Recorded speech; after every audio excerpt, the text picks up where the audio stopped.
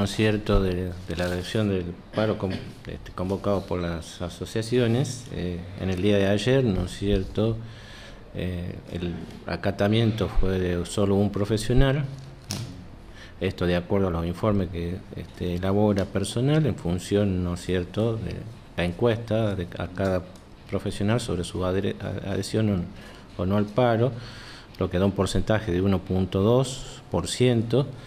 Eh, tengo que manifestar que tengo el parte diario también del, programa de estadística en relación a la cantidad de consultorios programados, ¿no es cierto?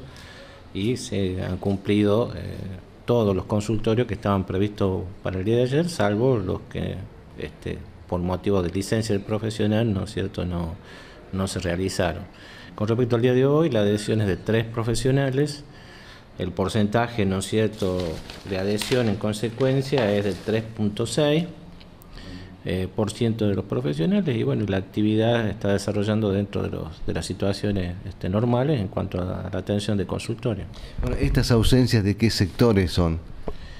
En realidad, no es cierto, la, la mayoría de las ausencias, este, tanto la de ayer como la de hoy, corresponden este, en el servicio de cirugía, ¿no? Este, con lo que incluye la parte también de, anestesiología, eh, que es el único servicio, digamos, que eh, no ha tenido tampoco carencia de profesionales. Ha habido otros profesionales que han desarrollado la tarea y lo que en general, ¿no es cierto?, las este, prestaciones que había que hacer se hicieron.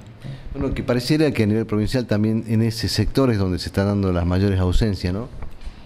Bueno, por ahí puede ser una situación relacionada también, ¿no es cierto?, fundamentalmente con el tema de este, quienes están al frente de las asociaciones, ¿no es cierto?, que este, son cirujanos, entonces este, creo que puede ser ese este, la, situación particular en relación a esto. ¿no? Obviamente que este, nosotros tratamos de que eh, en este caso, ¿no es cierto?, como eh, se trataba de una medida que no estaba homologada, de que se desarrolle lo más este, eh, naturalmente la, la, situación, previendo fundamentalmente la cobertura de los servicios esenciales para que este, eh, no haya inconvenientes en relación a la atención de la población y en esto también tengo que reconocer y, agradecer a, los profesionales que tienen la predisposición, ¿no es cierto?, de no dejar descubiertos este, estos sectores. ¿no?